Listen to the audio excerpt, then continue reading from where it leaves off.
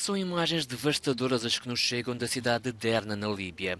As fortes chuvas da tempestade Daniel provocaram a ruptura de duas barragens e o balanço de vítimas ultrapassa já os 5 mil mortos, referiu um porta-voz do Ministério do Interior do leste da Líbia. As autoridades de Derna falam em pelo menos 2.300 mortos. A torrente de água arrasou bairros inteiros desta cidade costeira de quase 100 mil habitantes. As operações de busca estão em curso, mas o difícil acesso a algumas zonas está a dificultar os trabalhos.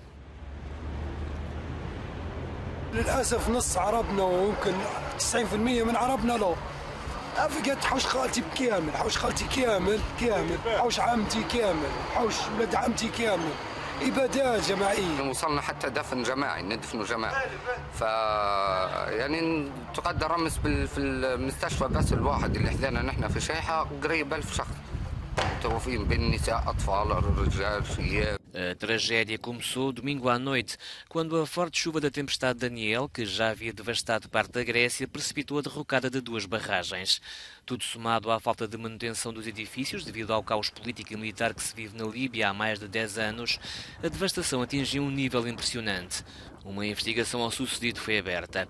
Mais de 1.500 corpos foram já recolhidos e metade já tinham sido enterrados até terça-feira. Cerca de 10 mil pessoas estão ainda desaparecidas e pelo menos 40 mil tiveram de ser deslocadas.